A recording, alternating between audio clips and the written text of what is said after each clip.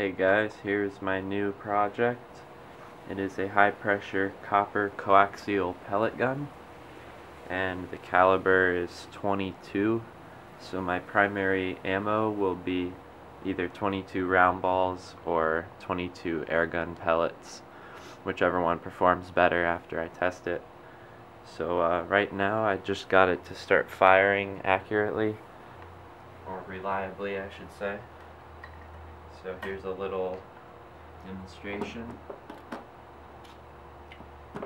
I'll try it at 200 psi with my bike pump.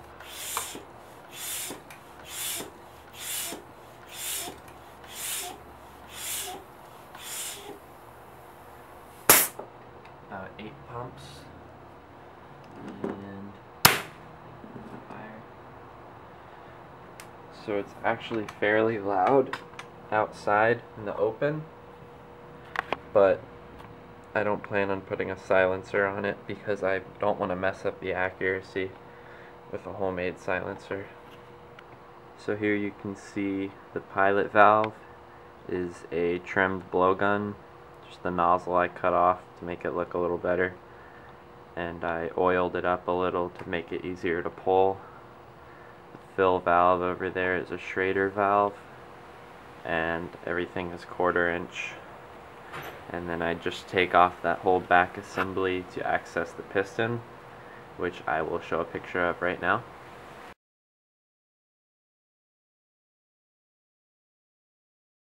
I bent the stock out of quarter inch copper pipe. It started as about a 70 inch long piece that I straightened out and then started bending the stock into shape using an actual pellet gun for reference so it fits the hand pretty nicely and it's easy to pull the trigger. The stock is temporarily attached with the stock is temporarily attached with this hose clamp with rubber and soon I'll add another one a little bit further back make it a little bit more secure. I also have a scope coming in the mail.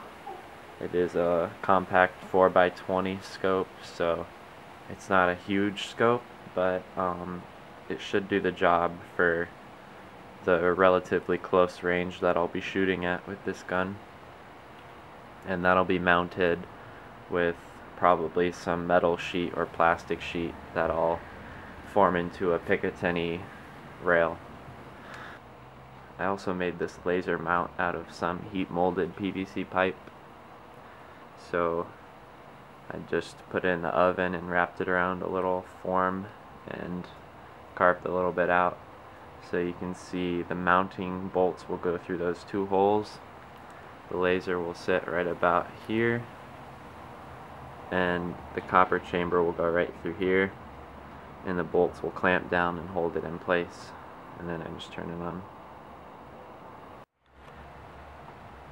I decided to have the option of the laser sight because I've used the scope that I ordered before and it's just really bad at night. You can't see anything at all. So if I sight in this laser, I can shoot accurately at nighttime as well as the daytime. That's about it for this project for now. Once my BBs arrive in the mail, I will do some test shots and hopefully my scope will come soon so I can figure out how accurate it's going to shoot.